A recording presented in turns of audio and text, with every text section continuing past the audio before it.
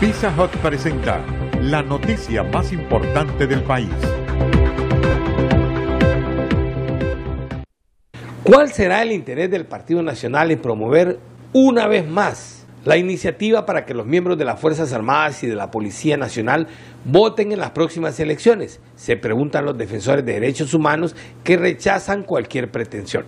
La idea es reformar el artículo 37 de la Constitución de la República para que el personal de los cuerpos de seguridad del Estado ejerzan el sufragio una fecha anterior a las elecciones primarias y generales, cuando literalmente dice que no pueden ejecutar este derecho. ¿Cómo ve la oficialidad?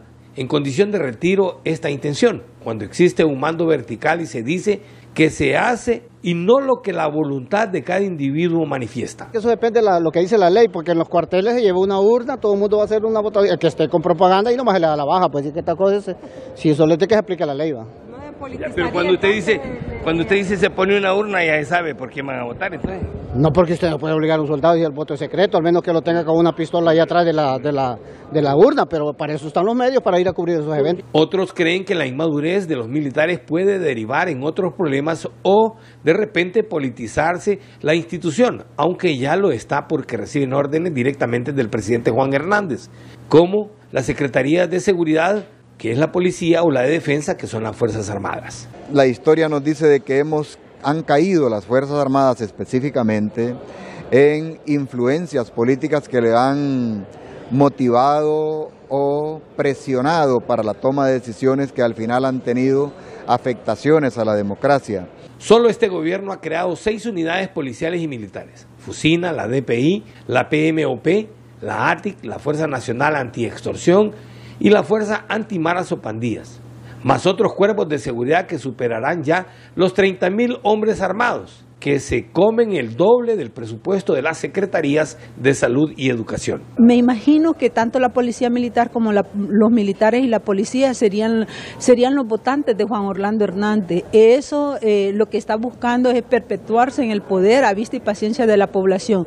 Yo llamo a, toda a todas aquellas personas pensantes que podamos, ¿verdad?, reunirnos y hacer una campaña en contra de ese ilícito, porque nosotros pensamos, ¿verdad?, que esos represores del pueblo no pueden estar en el poder ni votar a favor del Partido Nacional, porque es eh, al partido al que le pondrán su voto. El artículo 37 constitucional establece que son derechos del ciudadano. Uno, elegir y ser electo. Dos, optar a un cargo público. Tres, asociarse para continuar en un partido político ingresar o renunciar a ellos, pero quizás sea una copia burda que quieren imitar a otros países de mayor experiencia democrática como Estados Unidos o Nicaragua, y uno más que otro del Caribe. Desde Tegucigalpa para Telenoticias, Josué Mejía en cámaras y Marvin López Uchini les hemos informado. El sabor de Pizza Hut se disfruta en cada mordida. Cuando se comparte con amigos o se disfruta en pareja. Es el que se saborea entre todos, porque se prepara con los ingredientes más frescos y con un toque especial que le da a cada momento un inmenso sabor. Pizza Hut. Pizza Hut presentó la noticia más importante del país.